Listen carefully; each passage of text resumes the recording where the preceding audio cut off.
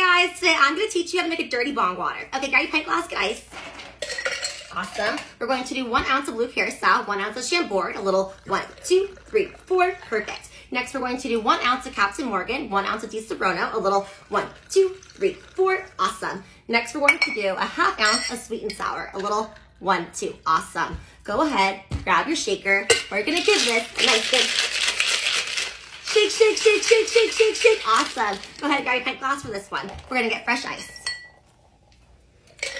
Perfect. Grab your shaker, grab your strainer. We're gonna give this a nice good strain. And that's it, a dirty bong water. Fun, right?